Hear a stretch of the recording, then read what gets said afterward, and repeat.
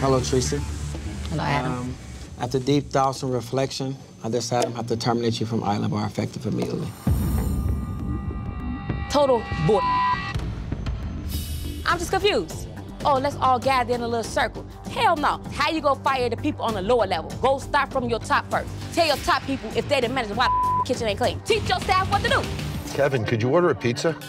Oh, excuse me. Is it possible to make me a pizza? I'll be more than happy to make you a pizza. You tell them it's gonna be like an hour? There's no POS systems in place. Okay, she's walking to the kitchen. Where are we? This is the roller rink to the right. This rink is clearly not bringing customers to this bar. There's the kitchen. The general rule of thumb, we never go more than 120 feet. There's no way in the world the food lands at the same temperature it left at. It's physically impossible. So you've got a conveyor oven, there it is. Okay. And, of course, a residential microwave. There's no printer or anything here. Jesse doesn't have the organized way of getting this back and forth. Who's in charge of this? The bartenders apparently go back there and make this stuff and then bring it back. Pizza goes in the conveyor oven. The conveyor is not moving. A conveyor oven like that should not take more than five minutes. No, I'm hating life right now. Really? Because I don't want to cook all night. I wouldn't want to either. Yep. Gwen, stay here. I'm gonna watch the floor until that way you can run it as soon as it gets done. Like a freak out. I literally hate just standing around. So we must, at this point, be at least 15 minutes or close.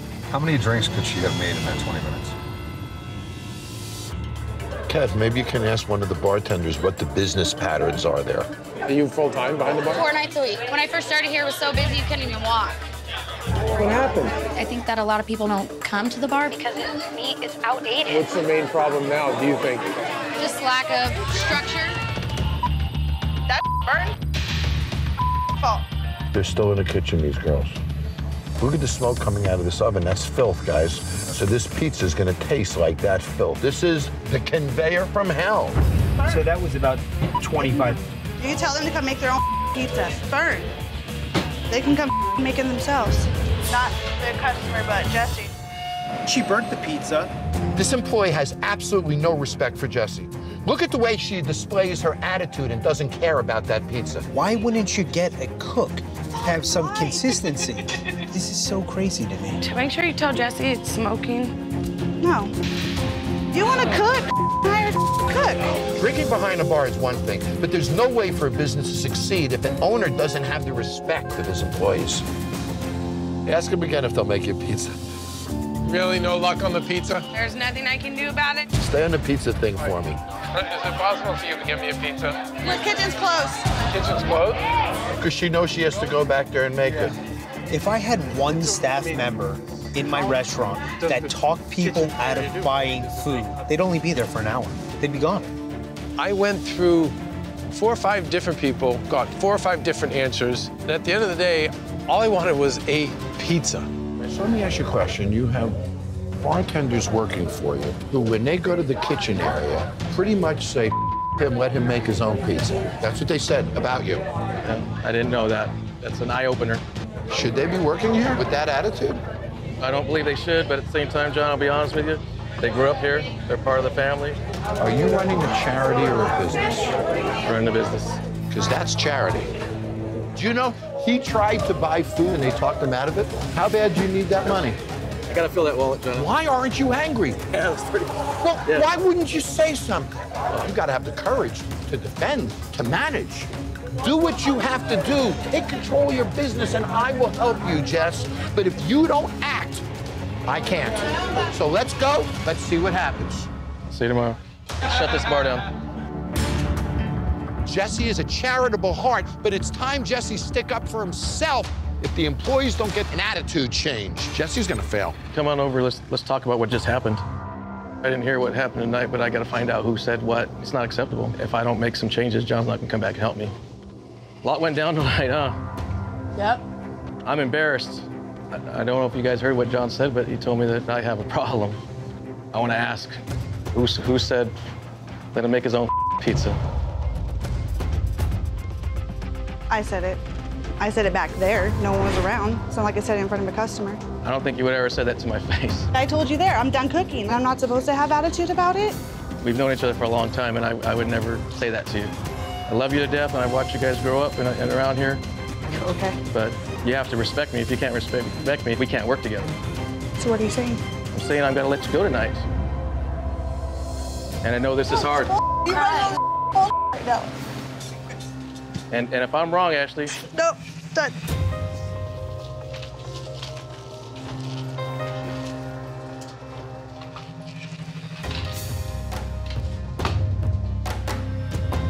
Probably one of the hardest things I've ever done in my life because I've known her for so long. But this isn't personal. Whether it's tonight or two months from now, that's not acceptable. That's bull.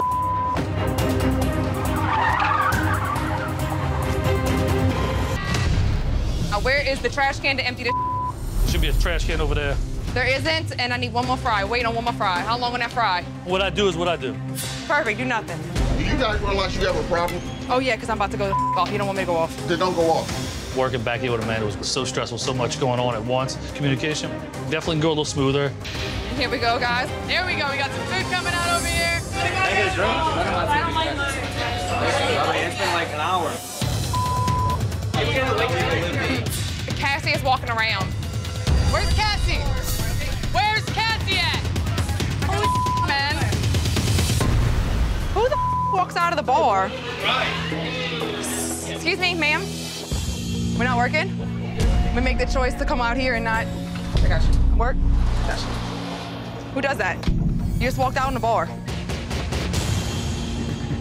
Cassie, are you going around looking for any glassware or anything? Everyone's falling apart. There's no more glassware anyway. do it. Cassie's supposed to be waiting on the tables, and she's not getting there. So now I'm grabbing a pad, and I'm going to go start taking orders so that way we can get everybody served. We're still waiting on the one we just ordered. Oh, I'm so sorry.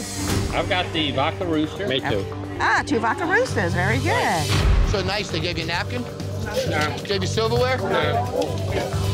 Amanda, they're sitting here eating with their freaking hands. They have no napkin, no silverware, and people are walking by them like crazy. Guys, we have no POS system. We can't transact.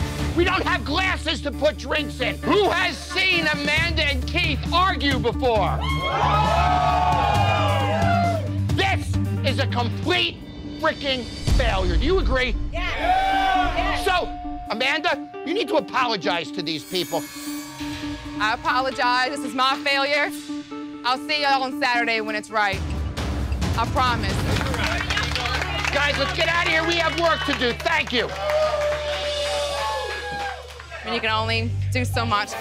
But it's hard when you don't have the most competent staff to help you out, too. So we'll have to figure that out as well. Tonight was disastrous. Yes. Things were done wrong. People weren't helped out there, weren't served out there.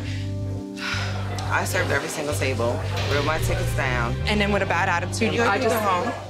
I do. Are you serious? Yes. I was not rude to anybody at all, ever. And then she just told me to go home. Oh, I was very nice to everyone. I smiled. I helped everyone out. She's full of I'm pissed. Kyle, why are you failing with the lights? All these people. So there. I'm ready to puke. Go sit down somewhere for a moment, please. Okay. Look at that. That's Jen, the bartender. Hold on. Oh, ow. She's completely drunk. She's smashed. Shut the door. I must confess, I've seen bartenders leave a bar drunk. How many of you seen show up to work drunk? She didn't even show up to work. She barely made it through the door. I really up. That's not something that can happen, man. Russ? Yep. So, Jen, she had some shots. She's currently laying over there. I don't know what drink was it. Say good, man. Well, um, I guess to haul it out of here. Keep me normal. I was drunk a few drinks ago. Hi, honey. Philly, are you gonna puke? Just please don't throw up on me. You can barely stand, man. Oh, come on. Oh, God. I. She is useless. That's a whole other level. Jen. Jen, She okay? look at me. Oh, wow, this could be serious. Can you open your eyes, please? Whoa.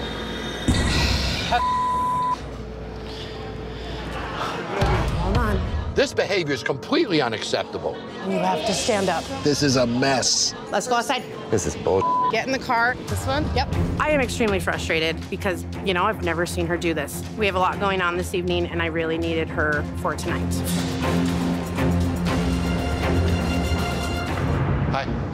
Hello. Jen, Hi, nice to meet you. you look a lot better than you did last night. Yes, everything just compiled on, then out I went. Pat, what do you think about the staff having a shot before they start work? I would not have allowed it because you're not going to handle my money while you're drinking. It's just a flip. It was a matter of like I had forgotten to eat. You know it's embarrassing for everyone.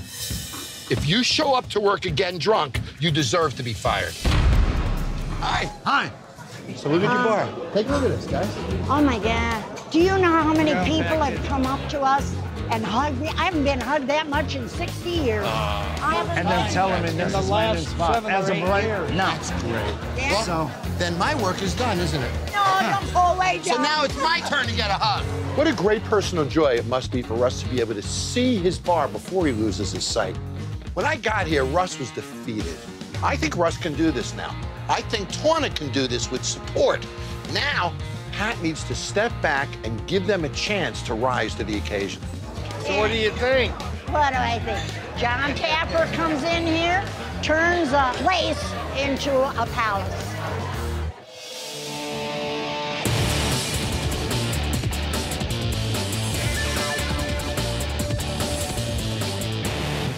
Now there's Adam, and that's the owner right there. Welcome to Island Bar. How you ladies doing? He's the one that bought this place for his family. We got Gerard. Stop, man. All that talk. Come on, let's get these orders out. He's a kitchen manager, and he's also Adam's uncle. There's Tracy.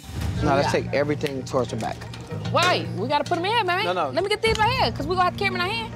She's a server, and she's Adam's cousin. Why you guys so quiet back here? It's Mama Linda. You guys act like we at a funeral. The mom, the uncle, the cousin. Yep. This is truly a family affair. There's another cousin, Kanaz. Oh, I'm sorry. That's Chris. That's Adam, man. This is my big cousin, the owner.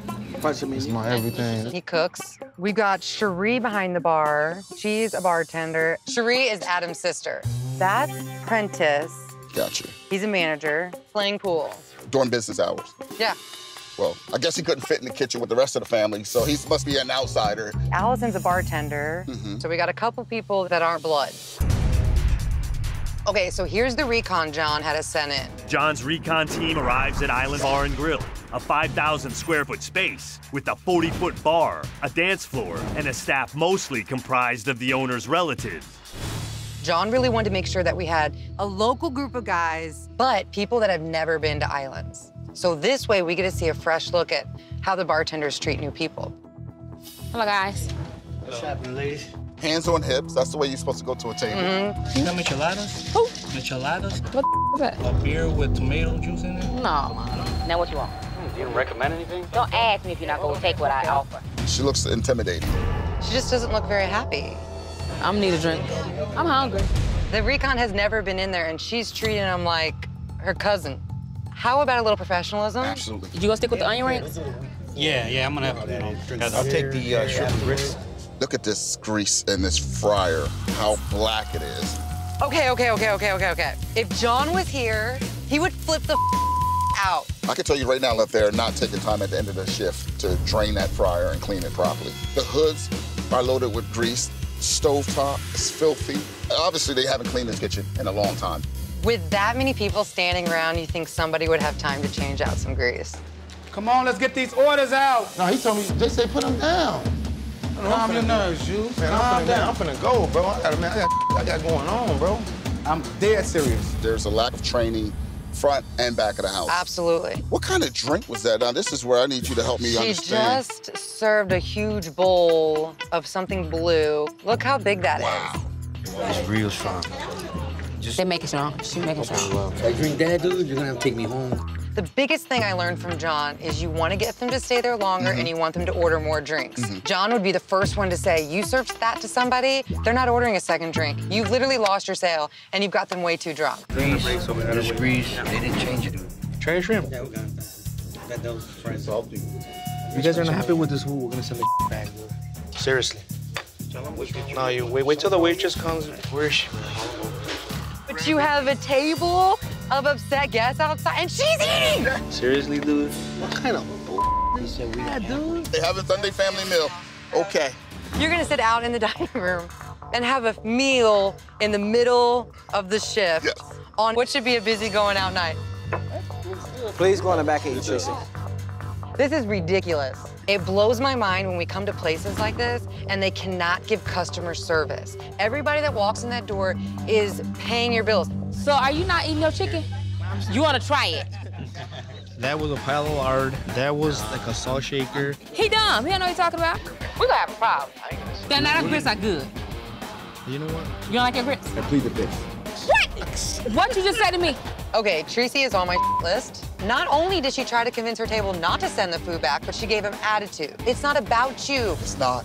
Adam. Hello, gentlemen. How are you guys doing? They've been unsatisfied with everything. Dad tastes like this, the same grease. I apologize.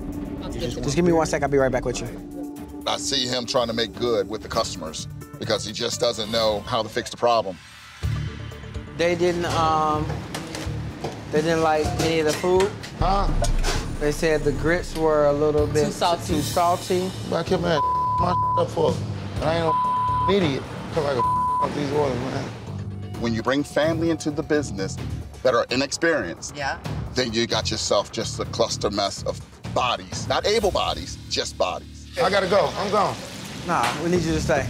That's Canaz. Man, they got me doing all this. I'm on work with all white on. My doing nothing, waiting on me to fill up coolers and all that. They supposed to been Ned. there. That, Ned. Like that cooking wings and all that all day today, man. And then Gerard and man back there just man keep telling me do this, do that, man. You do that, bro. Okay, Gerard is getting on your nerve, but you cannot just walk out like that, Canaz. Those right there are great. Take them. I mean, that, that grease just got changed, so. Just go in the front and chill and get drunk and do you gotta do. Quit worrying about juice, man. That's all I'm saying. I've been here three and a half years. I know when I come to work what to do. Powerball. I got everything back there clean. I filled up the coolers. I got everything that's so clean. You can't keep walking out, Canaz. Come on, man. I'm not finna keep doing that, bro. That. This is business. Get Yes. your ass back in the kitchen while you're at it, clean the fryer. Exactly. Can I get 10 minutes to myself, please? Canaz, Canaz, come on now. Powerball. Okay, so the bar's a disaster. I'm very disappointed in what you've seen, and I'm very disappointed what I see on a regular basis. His kindness, they take it for weakness. And at the end of it, he's getting screwed. Why are they still here? He's too nice. I've been where you are.